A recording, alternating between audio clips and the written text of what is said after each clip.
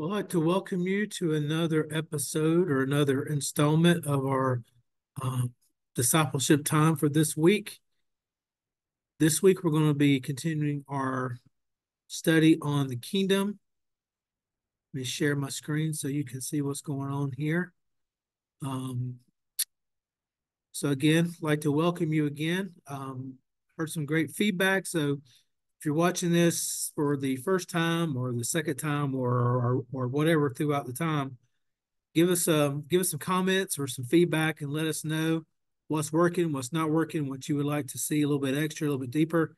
Um, apparently, uh, Pastor Joel has dubbed this "digging deeper with Dr. Martin," which is I laughed when I saw that, but uh, this opportunity is th- this time is an opportunity that we can go a little bit deeper than we can in a typical Sunday morning time when um, we have a larger crowd. But again, this avenue, this um, technology that we're trying to use, we're trying to um, give you the opportunity to, to view it at your own pace, your own time, so that you can, can study this, can lead others. And so let's let's dive right in um, to this week's part two of the kingdom. And this week we're going to be looking at the king. Last week, just to give you a, um, just a brief overview or synopsis of what um, we did. Uh, we just kind of introduced what the kingdom, what what kingdoms were. Um, I talked about the history of kingdoms, especially when it has to do to our Judeo-Christian um, history.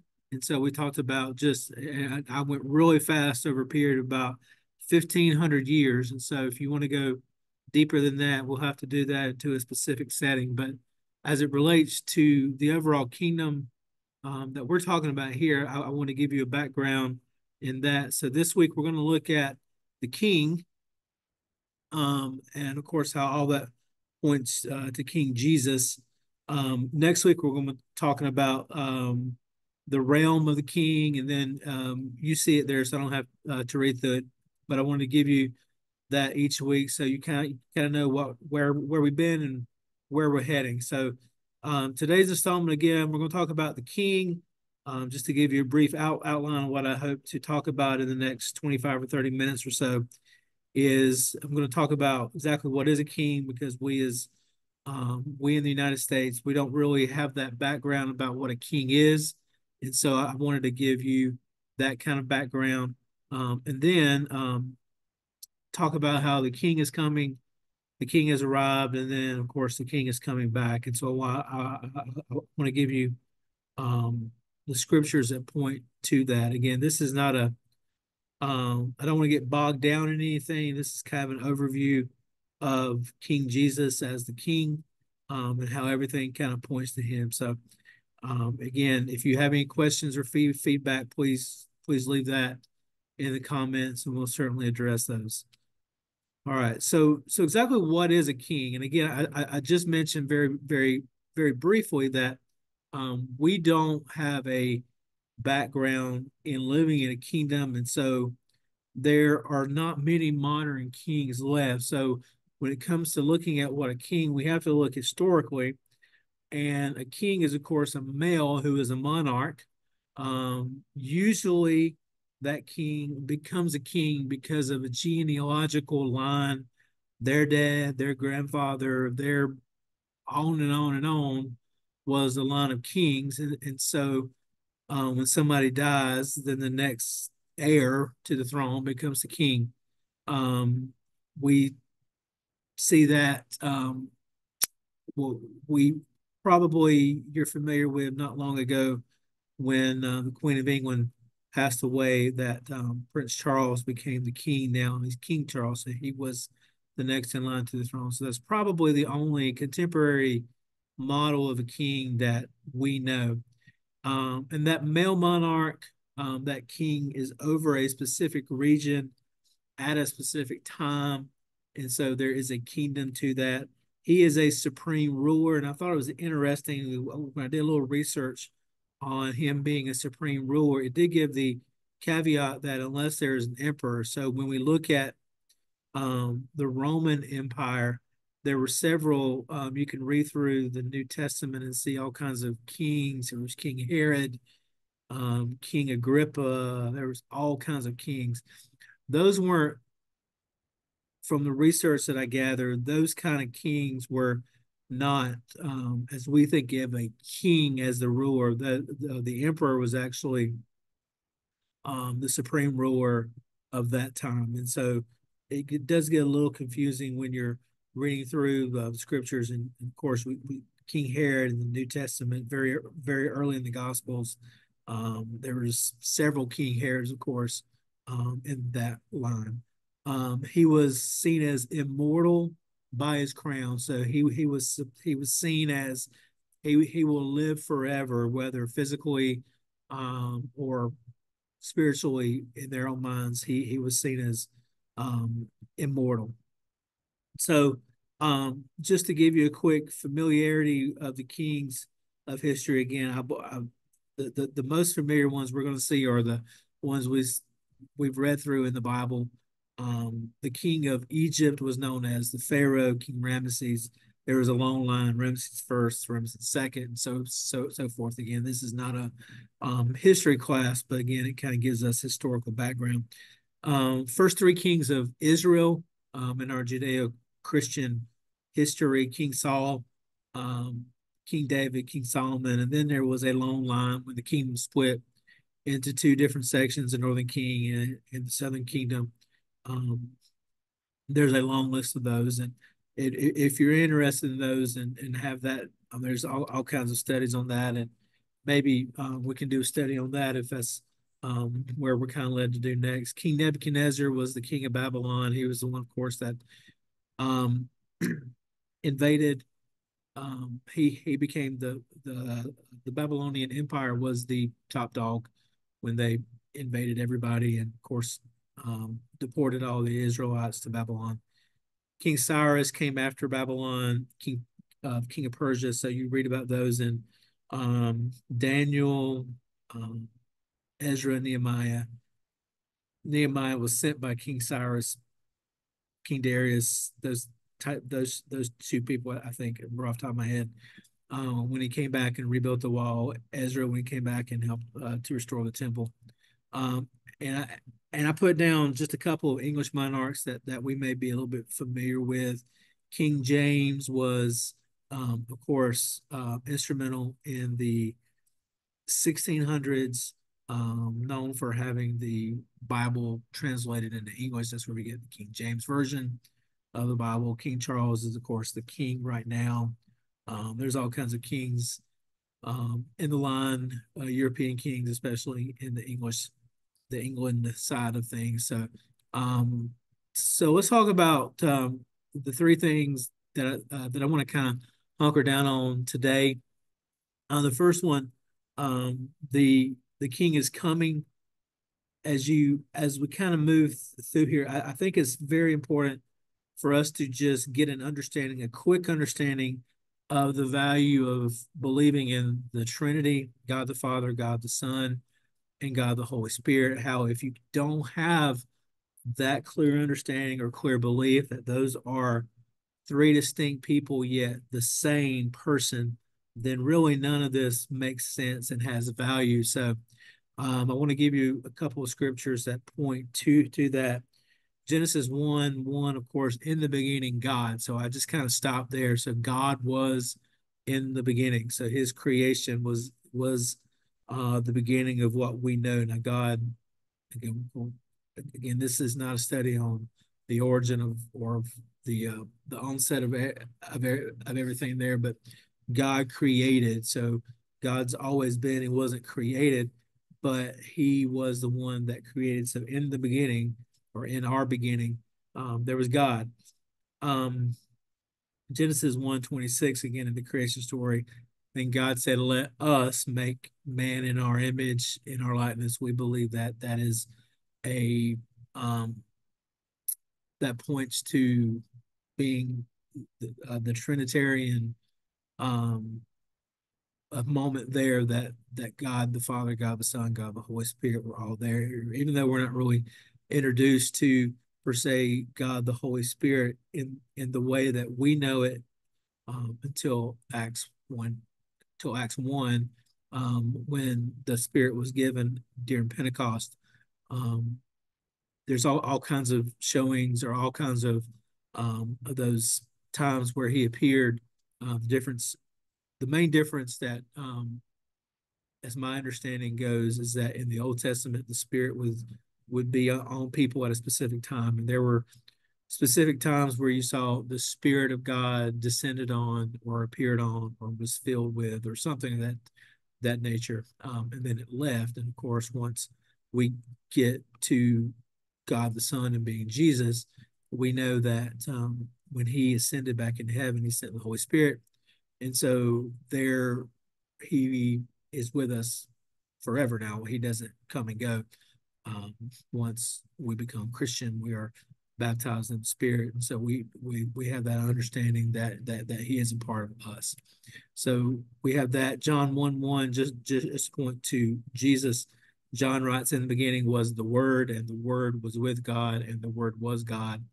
And that Word is an iteration of Jesus um, there. So that is the, the belief that Jesus has all, always been um, with and is a part of who God is.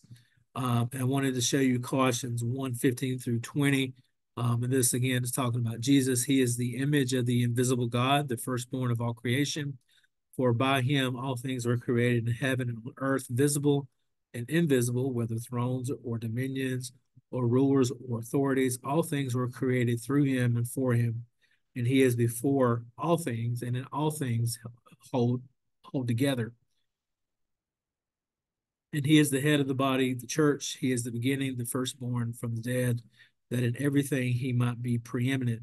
For in him all the fullness of God was pleased to dwell and through him to reconcile to himself all things, whether on earth or in heaven, making peace by the blood of his cross. And so, again, as Paul is writing here to the church at Colossae or Colossae, um, that's the belief that Jesus was um, the image or the physical body of God as he came down to earth. And so when we look at the king is coming, um, again, there's an understanding of the Trinity, but there's also an understanding of the original creation, how creation was created for us so that God could um, come and walk and walk with us. Now, when Adam and Eve were created, they were given dominion and rule over all of creation in the Garden of Eden um, they were, were given one restriction, and that is to stay away from the tree um, that they were not supposed to eat eat of. Um, in Genesis 3, we meet um, the serpent who came to Eve and convinced her that um, she would not die they would not die. Her and Adam would not die if they took part of that.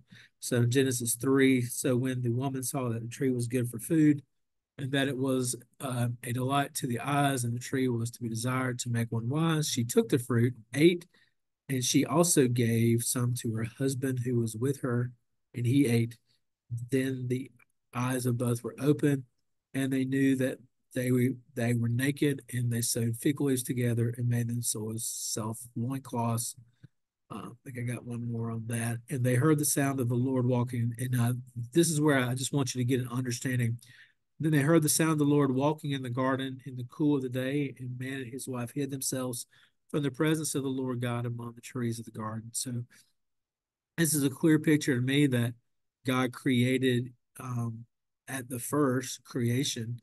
Um, Eden was created to be um, his kingdom here on, on, on, the earth where he can have fellowship and, and walk and talk with his creation, uh, man.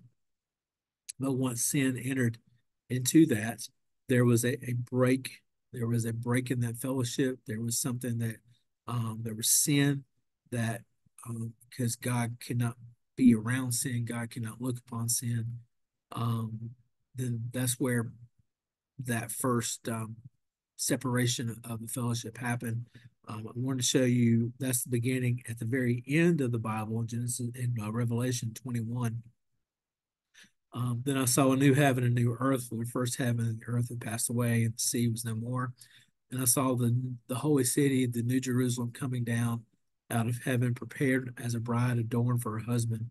And so I just wanted to show you there that um, the contrast between the beginning and the end. There's going to be a new heaven and new earth, um, where that new earth um, is going to descend. That new that that new city, Jerusalem, um, is going to come down. And so, what was created in, in the beginning and was broken because of the sin that um, people had there with um, against God, that we are eventually going to be able to have that back with Him um, at the very end. Uh, let, let me give you uh, um, just a few prophecies that point to Jesus as the coming king. Again, the Old Testament points to Jesus is coming.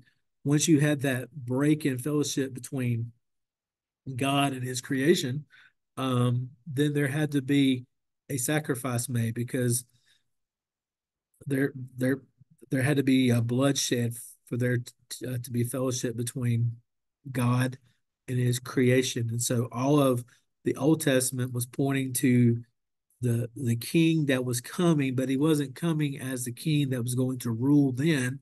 He was actually coming as the Messiah who was going to to die um, and be that sacrifice um, upon the cross, was buried for three days in the tomb, and then of course um, we know that he rose again on the third day to be our Savior. So let me give you a few of these. Isaiah 7 14, very familiar. We just came out of the Christmas season here.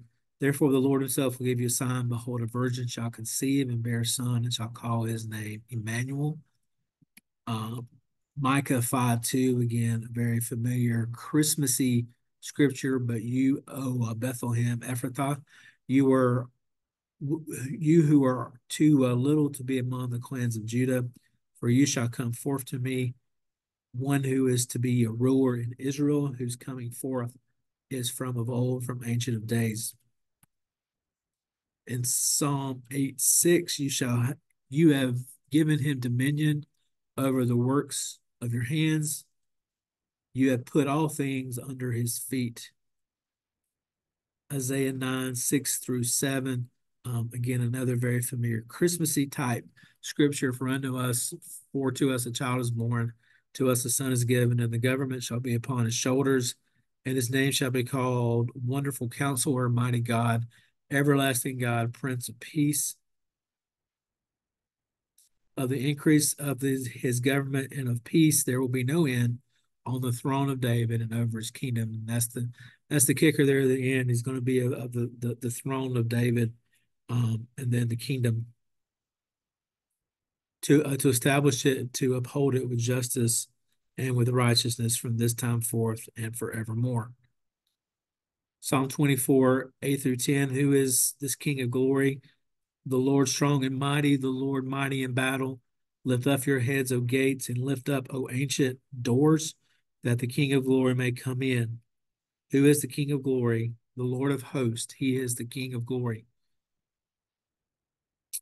All right, so that's that's how that's just a few of the scripture. There's there's a ton of scriptures that we can look at prophetic scriptures that talk about the Messiah coming um, as King that point to Jesus.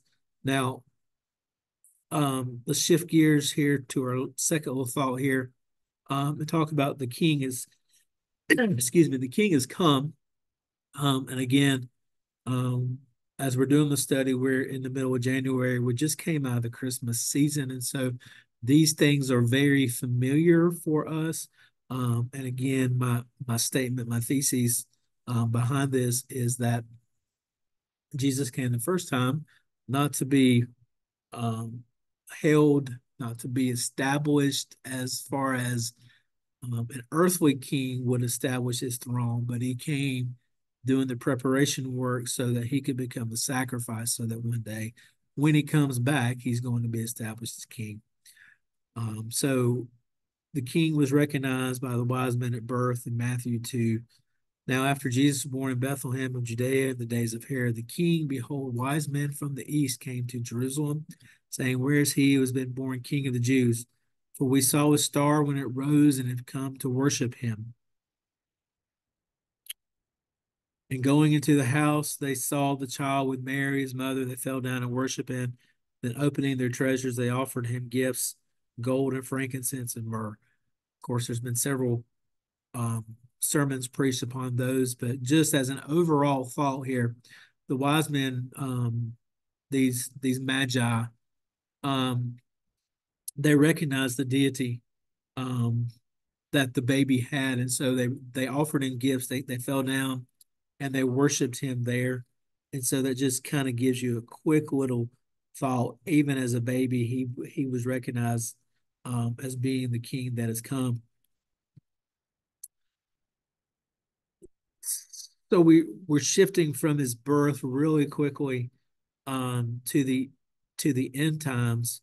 Um, so in John 12, 1 through 8, John writes, Six days before the Passover, Jesus therefore came to Bethany where Lazarus was, whom Jesus had raised from the dead. So they gave him so they gave a dinner there. Martha served, and Lazarus was one uh, of those reclining with him at the table. Uh, Mary therefore took a pound of expensive ointment made from pure nard and anointed the feet of Jesus and and wiped his feet with her hair. The house was filled with the fragrance um, of the perfume. But Judas Iscariot, one of his disciples, uh, parenthetically here, that he was about to betray him, said, why was his ointment not sold for 300 denarii and given to the poor? He said this not because he cared about the poor, but because he was a thief and having charge of the money bag, he used it to help himself to what was put into it. Jesus said, Leave her alone, that she may keep it for the day of my burial. For the poor you will have always, but you do not always have me. So Mary, in this instant, was anointing him um, you can look at it both ways, and I think both are very true. Um, Jesus talks about he she was that she was anointing him, getting ready for his death, but also a king would be anointed. Um, I didn't put that scripture in, but I, I have the thought back in First Samuel when um, the prophet Samuel was going to anoint.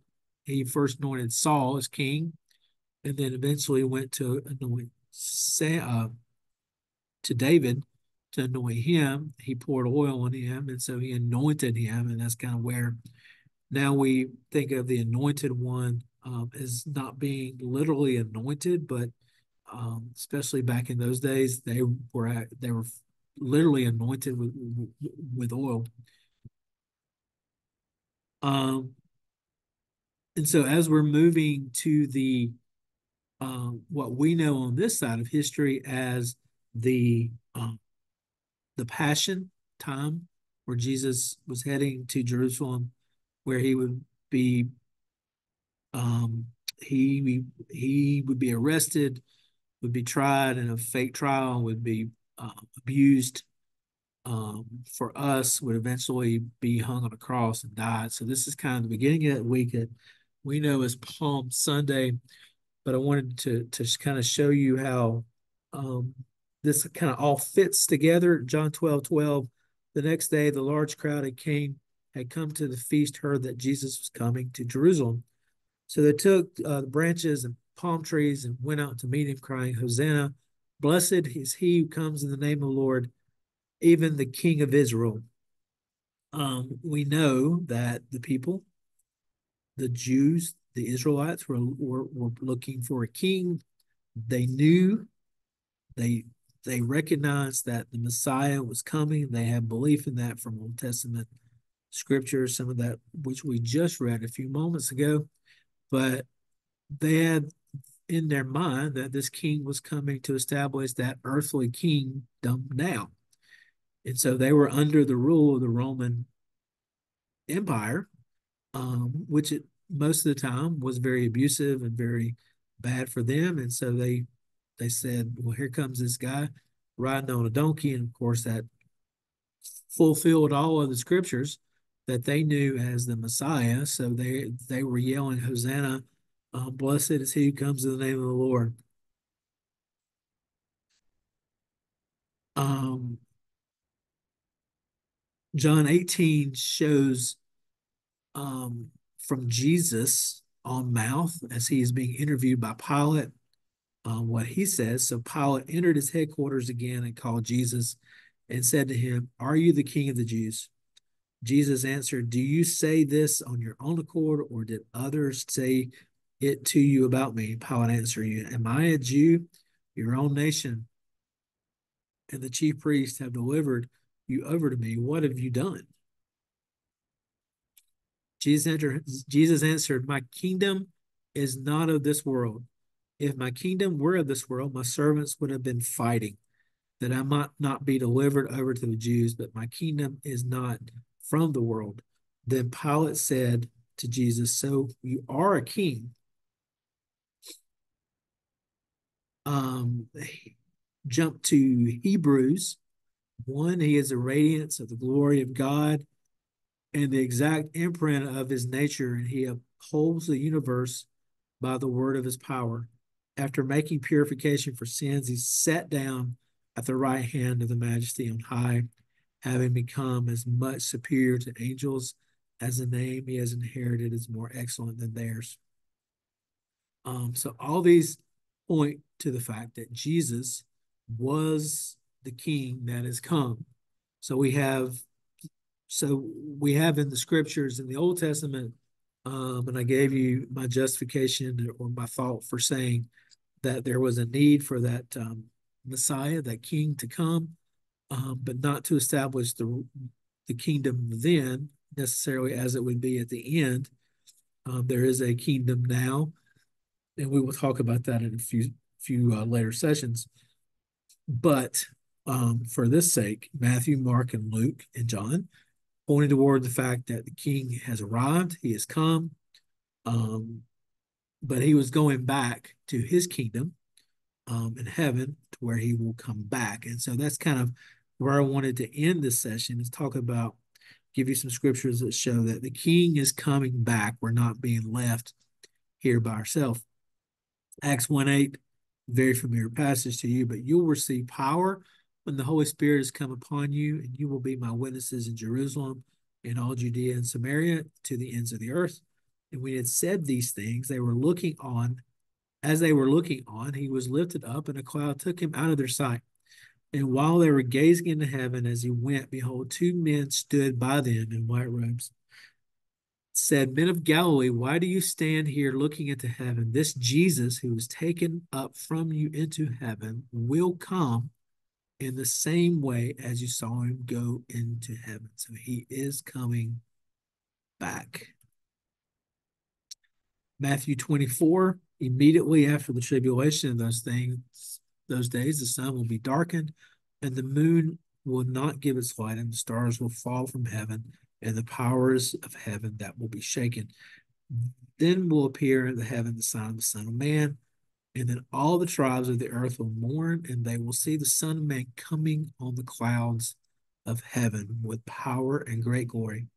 And he will send out his angels with a loud trumpet call, and they will gather his elect from the four winds, from the one end of heaven to the other. And then, of course, the main scriptures that we look as far as the second coming, um, I want to jump to the back to the book of Revelation. Um, in Revelation 19, it says, Then I saw heaven opened, and behold, a white horse. This will be one of the great things you you, you want to see. Um, we, we we hear apocalyptically, and I may have just made up that word, but of course, apocalyptic things point toward the end times. Um, you see all kinds of movies and stories written about that great white horse. Well, here he is. The one sitting on it is called faithful and true. And in righteousness, he judges and makes wars. His eyes are like a flame of fire on his head and are many diadems. And he has a name written that no one knows but himself. He is clothed in a robe dipped in blood, and the name by which he is called is the Word of God. And the armies of heaven, arrayed in fine linen, white and pure, were following him on white horses. From his mouth comes a sharp sword with which to strike down the nations, and he will rule with a rod of iron. He will tread the winepress of the fury of the wrath of God, the Almighty. On his robe and on his thigh, he has the name written King of Kings and Lord of Lords. Revelation 22 says, and this is at the very end of the book. This is the very end of the coming, and these are some of the last words um, Jesus. May I have to go back and look. I think that may even be the last words. Um, and behold, I am coming soon. Blessed is the one who keeps the words, the prophecy of this book. And so I just want to show you that we talk about the fact that the king, um, his kingdom so I wanted to introduce you today, this session, to the King, um, about how the scriptures point out the fact that from Genesis to Malachi, that the King is coming. Um, historically, we know that there was a great time of darkness or of silence between um, when Malachi was completed or the end of the Old Testament to the beginning of the New Testament, about 400 years of silence. Um, and here comes John, um, declaring John the Baptist declaring that Jesus is here. Um, and so that fulfilled all the scriptures, some of which I showed you during during the session. Of course, there's many, many more. Um, I wouldn't, I would not have the time on this particular instance to show you all of those. Um, and so Jesus um, came. Jesus, of course, died for us, was hung on a cross, buried. Three days later, arose. And now all the signs and everything now that we have is now pointing to his coming back to establish his king, um, his kingdom here on this earth. Um, just as we end here, let me show you just a, just two or three implications uh, for practice as we kind of close down today. Um, the understanding is that Jesus is the King. Um, you cannot separate Jesus and God and the Holy Spirit. You have to look at it both in the, the whole Trinitarian viewpoint as well as the individual purposes of each of those um, pieces of the Godhead um, and the importance of each of those um, Jesus as the King. And of course, as I mentioned before, Jesus came first to be the Messiah. Um, and his purpose in that was to be that sacrifice for us so that we wouldn't have to um, go through the sacrificial process of, of animal sacrifice. There could be that one true sacrifice that tore the rent of the curtain from top to bottom so that we may have access to the Father from this point on.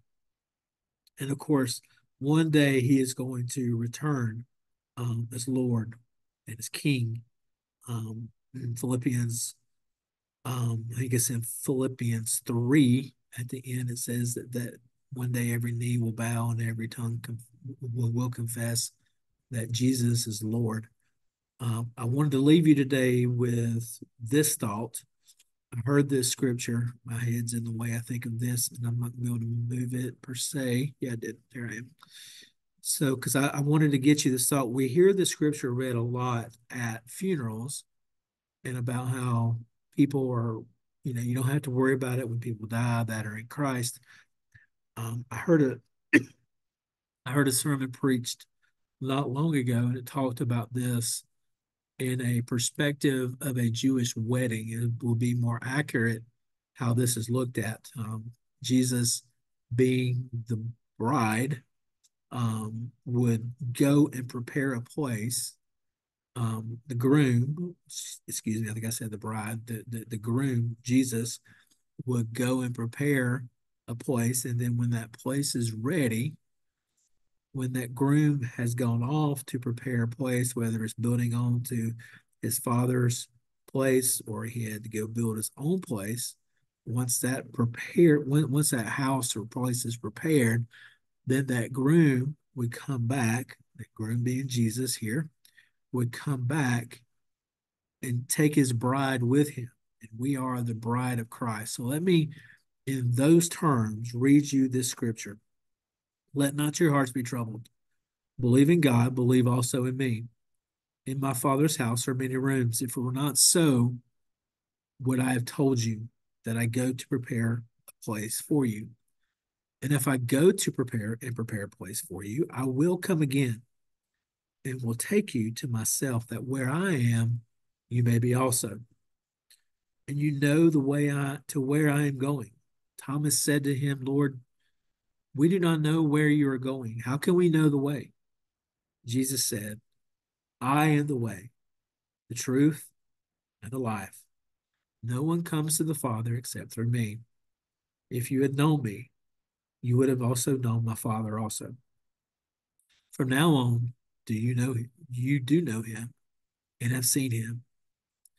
If you're watching this today and this is the first time you've heard about Jesus or the millionth time you've heard about Jesus and something is is speaking to you and saying, I, I, I need to know this Jesus um, before he returns back as king. Because when he returns, that time for accepting is over.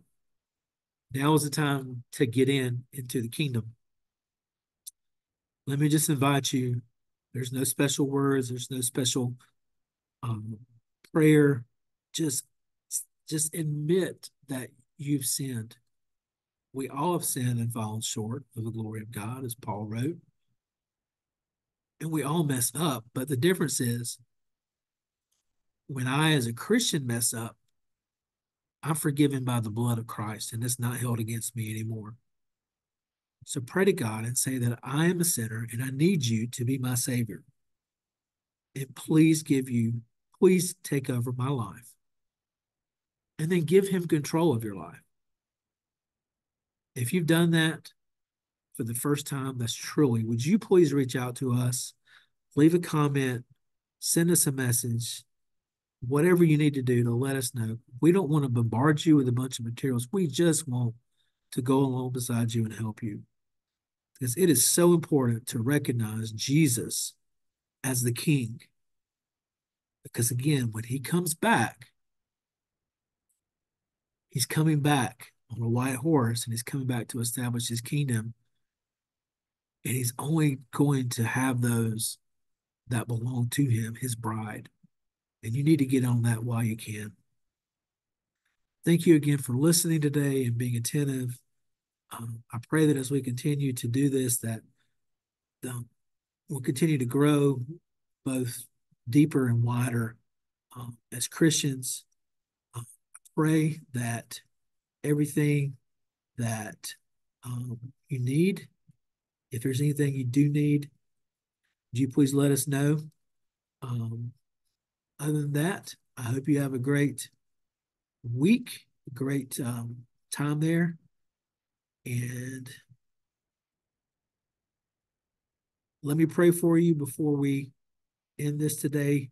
God, I thank you for all that you've done for us. Thank you for being our King.